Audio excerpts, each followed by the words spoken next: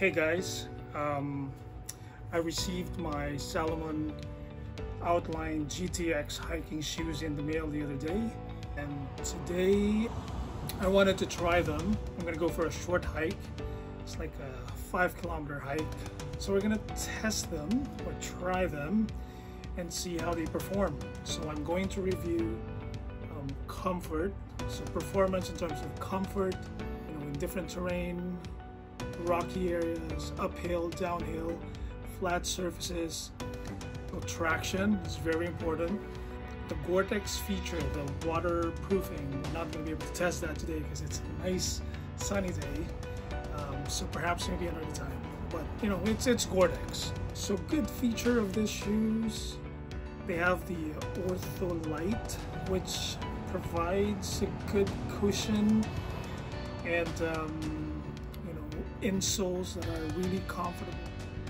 I like the fact that for the traditional looking hiking shoes or hiking boots, I like the fact that it's um, it looks and feel like a runner's um, or trail shoes, trail runner shoes, but it's actually meant for hiking. Got a nice outsole, so there's um, I believe it's five millimeter lugs, so that's going to provide really good traction.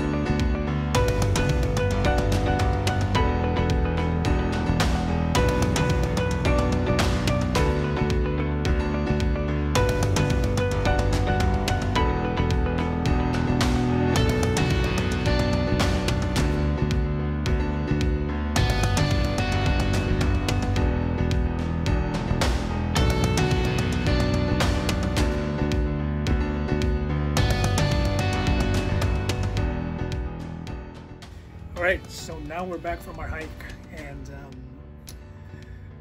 this is a review. Comfort.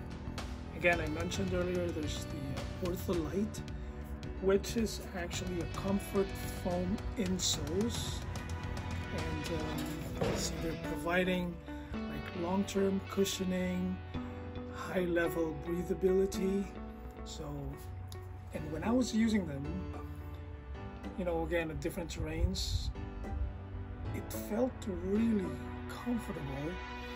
There was a good padding. It's a light runner, hiking, shoes hybrid kind of thing. That's a bonus. That's or that's a major plus for me.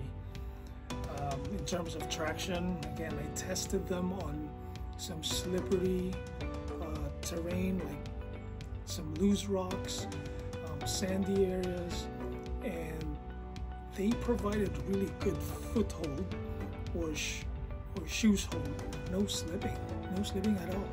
On a nice weather like this, um, it performed really well. We'll see uh, on a rainy day when I test them for a hike. Uh, we'll see like you know rocky areas and something like that. We'll see. But overall, um, I really like them. I'm happy with my purchase.